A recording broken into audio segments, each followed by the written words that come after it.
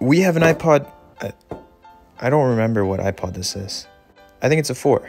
We have an iPod 4. And uh, apparently it's not turning on. I haven't fixed one of these in a really long time. So let's see what's wrong with it. Plug it in. Doesn't plug in. What the hell is that? Looks like a piece of rice. We're gonna take a SIM ejector tool. Let's get this out. Now we're gonna plug in the iPod. It's taking charge, but not enough. The motherboard's making a loud noise. So I opened it and it's clearly water damaged. They didn't mention that and it's not worth fixing this. Case closed.